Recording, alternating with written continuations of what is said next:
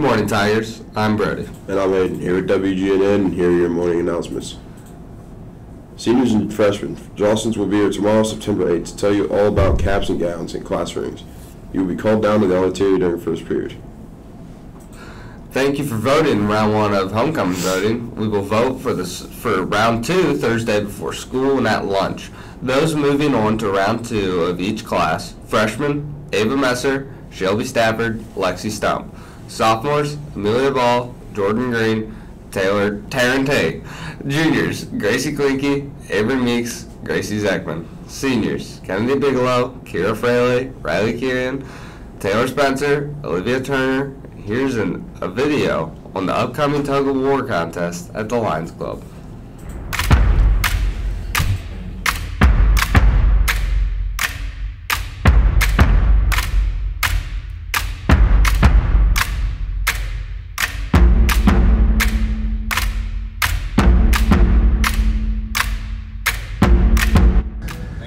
Come out to the Lions Club on September 10th for the tug of war competition to support the freshman class. There are two weight divisions, 600 and under, and 601 to 800 pounds. You can have four people per team, and it's $20 a team. Come out and support your local event. Proceeds go to the freshman class. Set, go.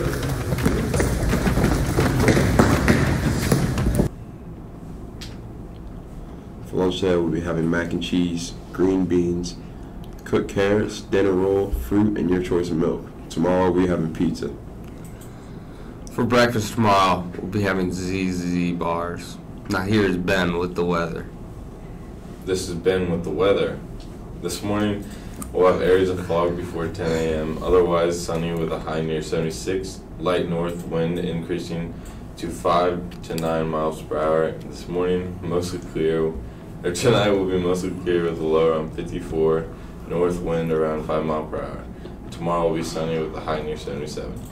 Back to you guys at the studio. Here's Kyle with the event calendar. Yes. September 6th is high school volleyball at Spencerville. Junior high volleyball versus Elgin at home. September 8th, Girl Scout meeting in Amber Amstead's room. September 8th, cross country at Riverdale. High school volleyball at Elgin and junior high football versus North Baltimore at home. The 9th, senior sunrise breakfast. I believe that's at 6:30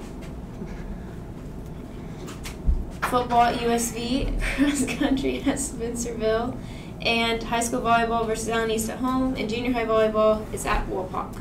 Back to you guys at the desk. It's Wednesday, guys. It's time to blow your minds with this crazy, not a conspiracy, but a fact. We are in the Matrix. Everything you know is fake. Everything they tell you is fake. This is a lie the government has been telling you.